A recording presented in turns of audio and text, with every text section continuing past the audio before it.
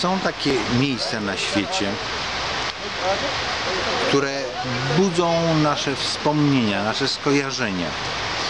Są takie miejsca, do których chętnie wracamy, bo się z czymś kojarzą, z jakąś sytuacją, z jakimiś wspomnieniami, z jakąś chwilą, którą przeżywaliśmy, gdy byliśmy młodzi. Byłem tutaj przed ponad 40 laty i to wyglądało praktycznie tak samo jak teraz. Drzewa były trochę niższe. Ale to nie o to chodzi. Chodzi o to, że dobrze, że na świecie są takie miejsca, do których można wrócić. Takie jak Paryż, Rzym, Wenecja, czy chociażby to. I to my możemy stworzyć w naszym życiu nasze połączenia z tymi miejscami. Może zaistnieć takie połączenie, że na samo wspomnienie tego miejsca pojawiają się te emocje, które tam przeżywaliśmy. I o tym chciałem właśnie powiedzieć, że to my tworzymy w naszym życiu emocje i te, miejsca są tylko kotwicami wywołującymi nasze emocje. To my w naszym życiu mamy możliwość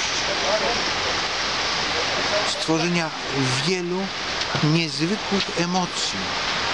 Oczywiście można żyć bez emocji, można żyć bez wspomnień, ale to chciałem wam, co chciałem Wam przekazać w tej chwili, to jest to, że tymi naszymi kamieniami milowymi, tymi wyjątkowymi miejscami, to nie są miejsca,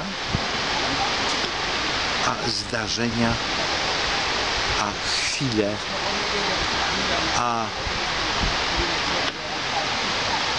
uczucia, które kiedyś przeżywaliśmy.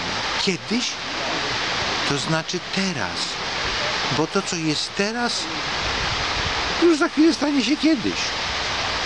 I dlatego życzę Wam jak najwięcej kiedyś, czyli życzę Wam jak najwięcej teraz. Teraz weź dziewczynę i wyjedź z nią do Piaseczna na spacer. Znajdź w tym piasecznie coś fajnego do obejrzenia, chociażby ogród botaniczny. To nawet nie wiesz, że w Piasecznie jest ogród botaniczny, to sprawdź, czy jest. I weź dziewczynę do ogrodu botanicznego. Stwórz teraz coś, co będziesz mógł wspominać latami, że będziesz mógł kiedyś powiedzieć 40 lat temu tu byłem i zrobiło to na mnie ogromne wrażenie. Czemu?